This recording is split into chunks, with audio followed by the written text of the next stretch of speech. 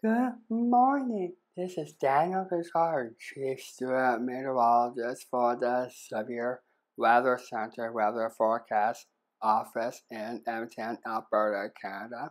And today's weather is going to be um, cloudy with showers later this afternoon with a high temperature. It's going to be 18 degrees Celsius.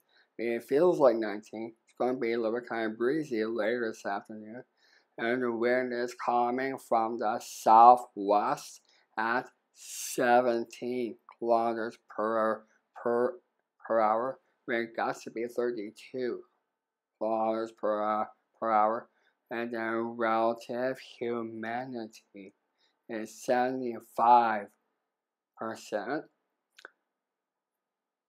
And pressure is rising to 100.2 kilopascals and tonight becoming mainly clear overnight with a low temperature is 8 degrees Celsius, feels like 6.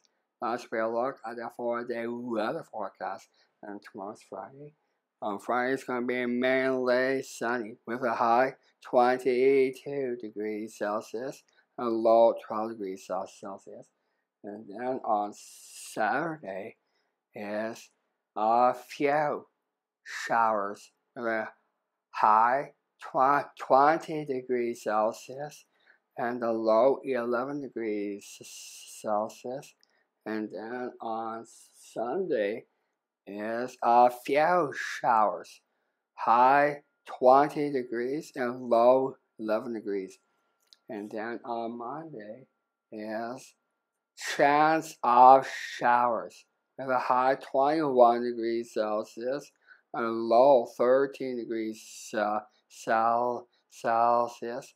Next is the overnight yesterday's high is 17.9 degrees Celsius. Yesterday's low is 11.7 degrees Celsius. It was yesterday, it was a little bit kind of warm. Uh, warmest temperature was at 19, 1924 Uh, at 36.7 degrees Celsius.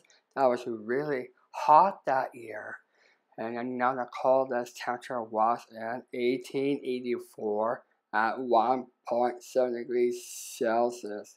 It was a little bit kind of chilly that year. And you can follow me at www. You can follow me at www desjardinsweatherman.com. You can follow us on Facebook.